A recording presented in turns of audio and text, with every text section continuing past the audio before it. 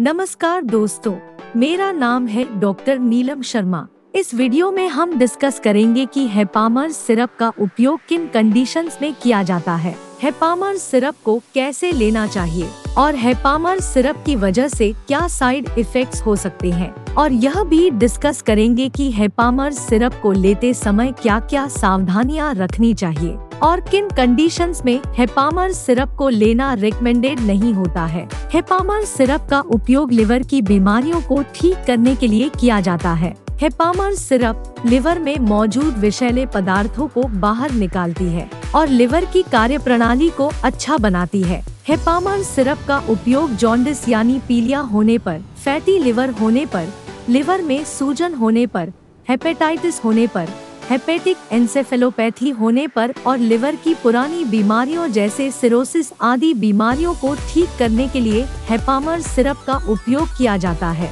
हेपामर syrup liver को मज़बूत बनाने के साथ साथ पाचन तंत्र को भी मज़बूत बनाती है। और भूख को भी बढ़ाने में मदद करती है। इसके अलावा जो व्यक्ति रोज़ाना शराब का सेवन करते हैं या ज़्यादा मात्रा में शराब का सेवन करते हैं, ऐसे व्यक्तियों के लिवर में विषैले पदार्थों की मात्रा बढ़ जाती है, जो लिवर के लिए नुकसानदायक हो सकता है और जिसकी वजह से लिवर डैमेज भी हो सकता है। हेपामर सिरप शराब की वजह से लिवर में जमा हुए विषैले पदार्थों को बाहर निकालती है और लिवर को डैमेज होने से रोकती है। और लिवर की कार्य प्रणाली को ठीक करने में मदद करती है दोस्तों, अगर आपको वीडियो पसंद आ रहा है तो कृपया वीडियो को लाइक करना न भूलें। अब हम डिस्कस करेंगे कि हेपामर सिरप की वजह से क्या साइड इफेक्ट्स हो सकते हैं वैसे तो ज़्यादातर व्यक्तियों में हेपामर सिरप की वजह से कोई साइड इफेक्ट्स नहीं होते हैं, लेकिन कुछ परसेंट व्यक्तियों में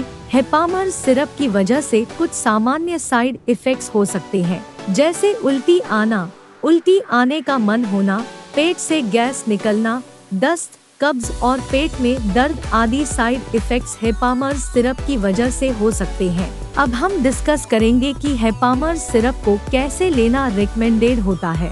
हेपामर सिरप को खाना खाने के बाद लेना रिकमेंडेड होता है। आमतौर पर 18 वर्ष से अधिक उम्र के ज़्यादातर व्यक्तियों को डॉक्टर हेपामर्स 10 मिलीलीटर सिरप को दिन में दो बार लेने की सलाह देते हैं। लेकिन हेपामर सिरप की खुराक उम्र, शरीर के वज़न और बीमारी की गंभीरता के आधार पर कुछ व्यक्तियों में इससे अलग भी हो सकती है। इसलिए आपको हेपामर सिरप को लेने से पहले डॉक्टर से परामर्श लेना चाहिए और डॉक्टर की सलाह के बिना हेपामर सिरप को नहीं लेना चाहिए। अब हम डिस्कस करेंगे कि हेपामर सिरप को लेते समय क्या क्या सावधानियाँ रखनी चाहिए। और किन कंडीशंस में हेपामर सिरप को लेना रिकमेंडेड नहीं होता है? किडनी फेलियर और किडनी की कोई गंभीर बीमारी होने पर हेपामर सिरप को लेना रिकमेंडेड नहीं होता है। इसलिए इन कंडीशंस में डॉक्टर की सलाह के बिना हेपामर सिरप को नहीं लेना चाहिए। प्रेग्नेंट महिलाओं और स्तनपान करा रही महिलाओं के लिए